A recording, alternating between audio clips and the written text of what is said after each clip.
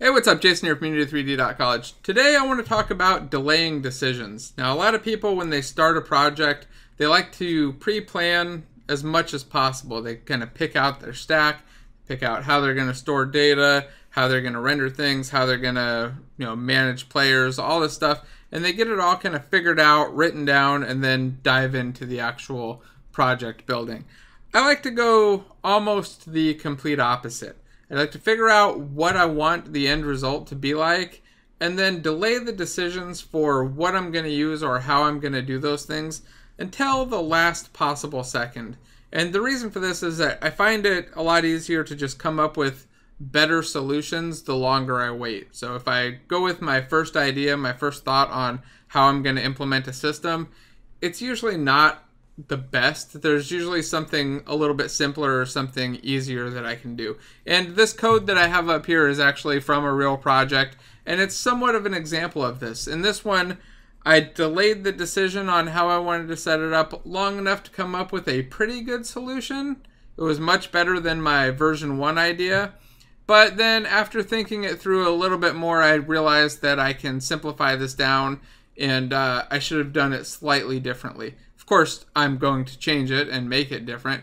But if you look here, it's essentially a proc system for an MMO game. So if you want to have procs that fire off when uh, maybe like you do an auto attack and an ability fires off, or you cast a spell and you know something else happens. Maybe it does some extra damage, or it stuns the thing if you have this item equipped when you cast a spell. Or maybe it's like you get hit and something happens to the things that hit you. All of these kind of work with this type of a system that I've got built here. But the problem that I was running into was that every time I wanted to add a new one, I was having to create a new class and then link up two different enums to each other. And it just started to feel like at first it felt okay, but then as as I was going through, I realized, hey, this feels kind of dirty. I should probably just assign this proc type here in the effects and get rid of all of these different classes. So I could actually delete all of this code. In fact, I'll be doing this later today. Just deleting all of that and adding a column to the database and I'm done. It's going to simplify things and just make it a lot easier. But enough about just this specific project.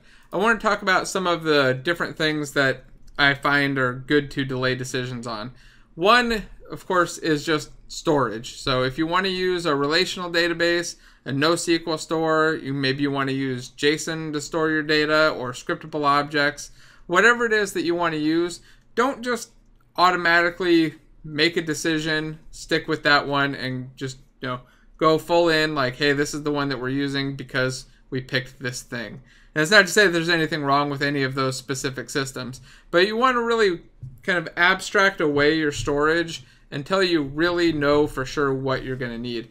Maybe you don't need anything complicated. Maybe a simple JSON file is enough. You can just serialize an object with data that's got the state and you're good. In fact, in a lot of cases, that's pretty much it. That's all you need to do.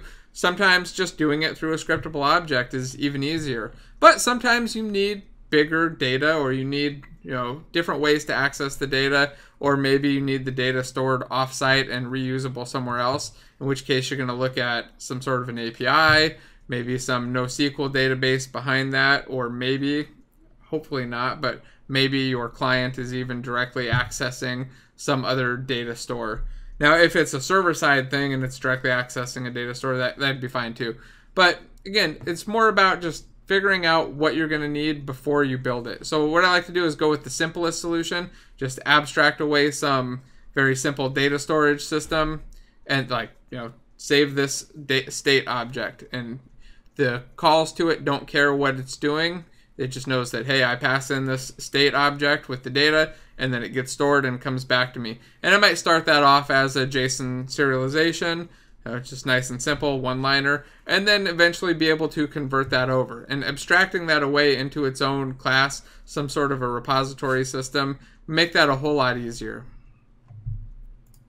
Now the same could be said for network layers. You could abstract that away a bit and then make your decision at the end. Or start building up your game and then start figuring out how you're going to network it partway through. of course, with networking, if you're going to go multiplayer or single player, you want to make that decision right away. You're going to say, like, hey, we're building a multiplayer game. We're going to code it as a multiplayer game and be ready for multiplayer stuff. Don't ever just start a single player game and then say, oh, yeah, maybe later we'll convert it to multiplayer because it almost never works. It's always coded kind of in a more single player way and just shit falls apart. It's just not possible. But I.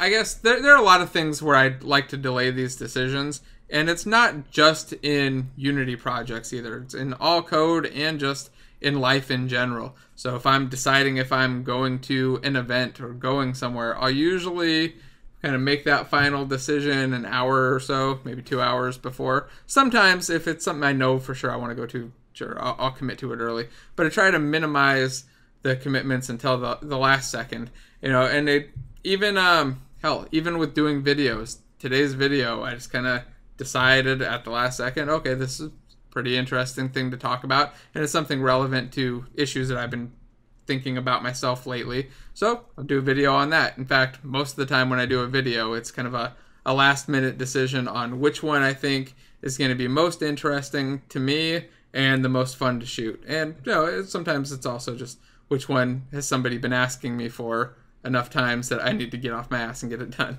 Anyway, again, like I said, just I like to delay these decisions when it comes to coding stuff, especially, but everywhere else. So I recommend that you do the same.